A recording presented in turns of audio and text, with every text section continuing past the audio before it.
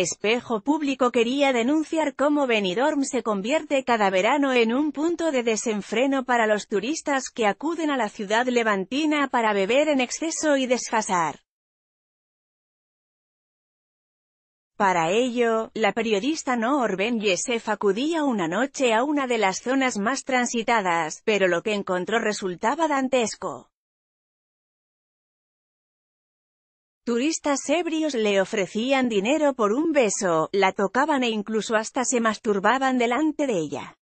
No tienes que tocar, decía la reportera, en inglés y en español.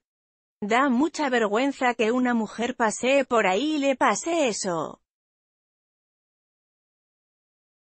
Estábamos trabajando y ellos eran conscientes, dentro de sus niveles de borrachera, de lo que estaban haciendo, relataba la periodista desde el plató. Además, admitía que la idea era mostrar el ambiente festivo y cómo la mujer era utilizada como reclamo para los turistas, y que no se imaginaba sufrir tales agresiones, que según su testimonio procedía de turistas británicos. Cámara del reportaje sufrió también una agresión, pero en este caso física. A él le tiraban latas, le empujaban, insultaban pero yo al ser mujer las faltas de respeto eran de carácter sexual, denunció Noor Ben Yesef.